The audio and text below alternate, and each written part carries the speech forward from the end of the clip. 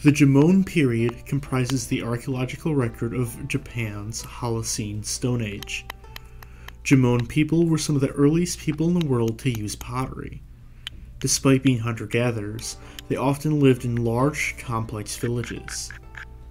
During the transition from the Paleolithic to the Jomon period, people began to stop using blade and core stone tool technology in favor of bifacial stone tool technology around 15,000 years ago. In this video, I flint-knapped a tanged bifacial projectile point from the incipient Jomon era and talk about the archaeological record of this time in Japan.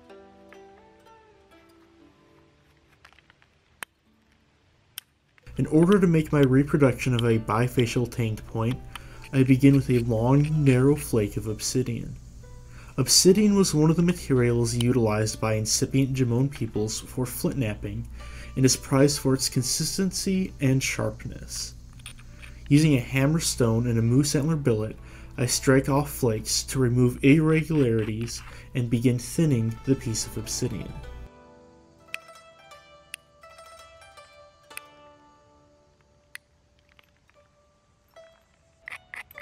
The Paleolithic era marks the earliest occupation of Japan by people, around 38,000 years ago during the Pleistocene epoch.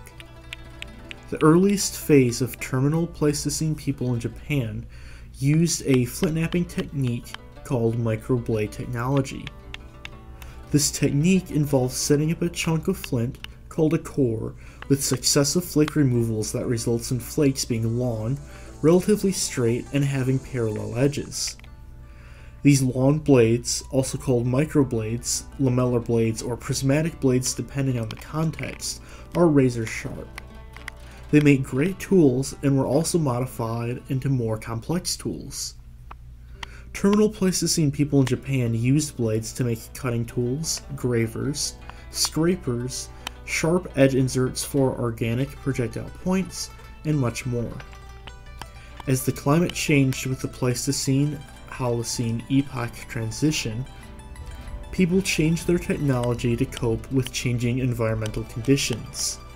They began making bifacial tools, and gradually blades became a less dominant aspect of their flint knapping technology. Bifacial tools are made by removing flakes from both faces of a piece of flint or other knappable rock until the desired form is created. The earliest Jomon bifacial tools were large bifacial leaf-shaped blades. This style is followed by tanged bifacial points, like the one I'm making. The change in projectile point technology accompanied other changes in lithic tools and also other material culture.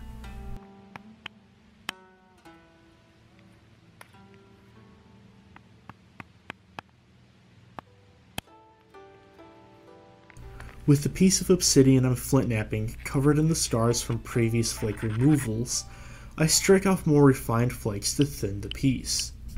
At this stage, the edge is more regular, and the biface could be used as a cutting tool if need be.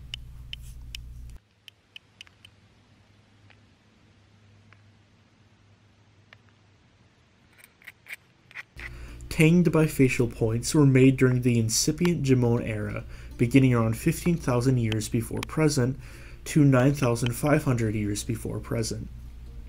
Besides the range of other stone tools, people during this time are also known for producing a type of pottery known as linear relief pottery.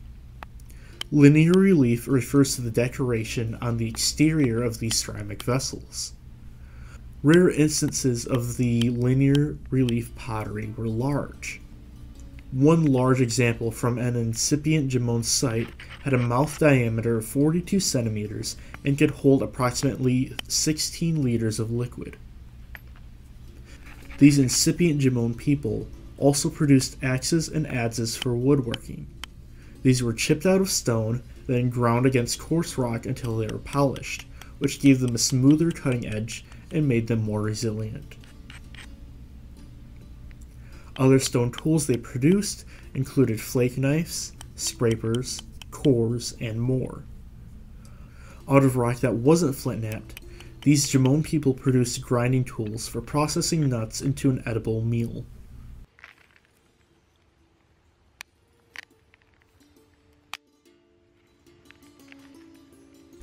Tanged points were carefully finished with a flint knapping technique called pressure flaking. On well made examples of these projectile points, this was done in a pattern called oblique parallel pressure flaking by archaeologists.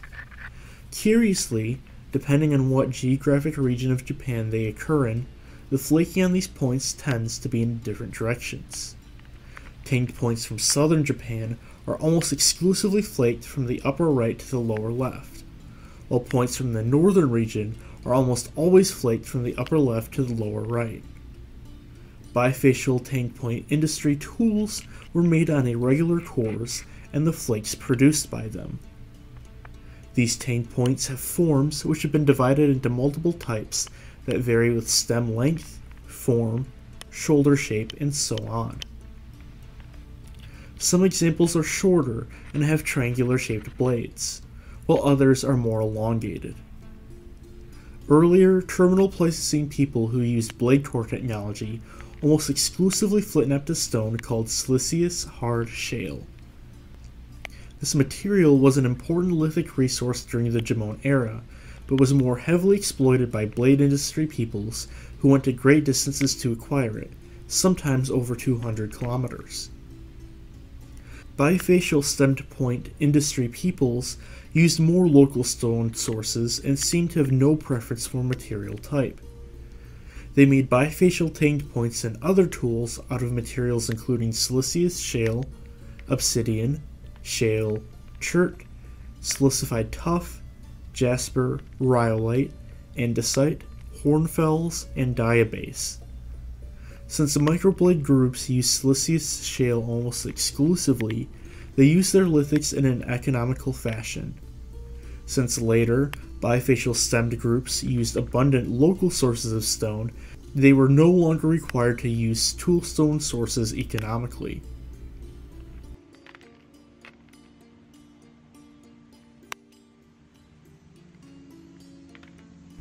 Now that the preform for my tanged point has an even, regular cross section, I begin with pressure flaking. Since obsidian is a brittle and easily worked material, my pressure flakes are easy to remove in a consistent pattern. All of this pressure flaking not only produces a thin, sharp edge, but also allows me to shape the point closer to the desired outline.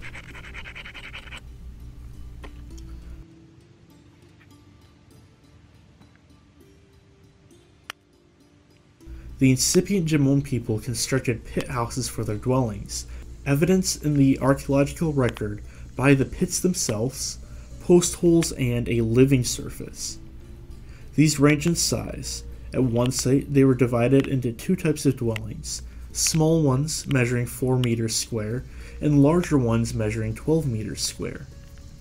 At some sites, features have been found that are more ephemeral than these pit houses, and are interpreted as short use summer dwellings. Concentrations of burned rocks are often found at these habitation sites, which are the remains of hot rock cooking. A type of cooking feature called a ventilated hearth by regional archaeologists can be found at incipient Jomon sites. These consisted of open pit hearths with an underground sloping flue. Ventilated hearths are thought to have been used for smoking meat and are found at a number of sites.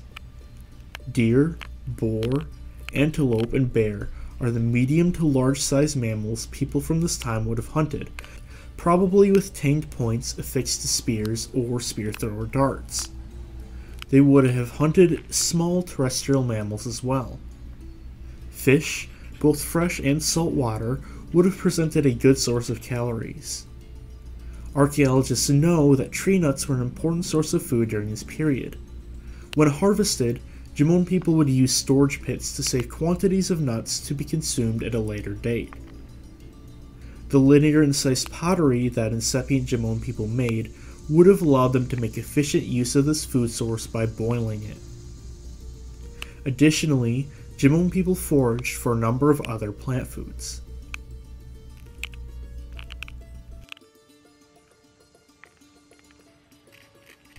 The distinct part of these projectile points, the tang, is traded by pressure flaking in the same area near the base until it grows narrower. The tang is what would have allowed ancient hunters to secure the point into a haft for a spear or dart. I also flint knapped the tang to be thinner than the rest of the piece in order to make it easier to fit into a haft. Once I am satisfied with how the tang looks, I can pressure flake the blade to its final shape and sharpen the tip and edges.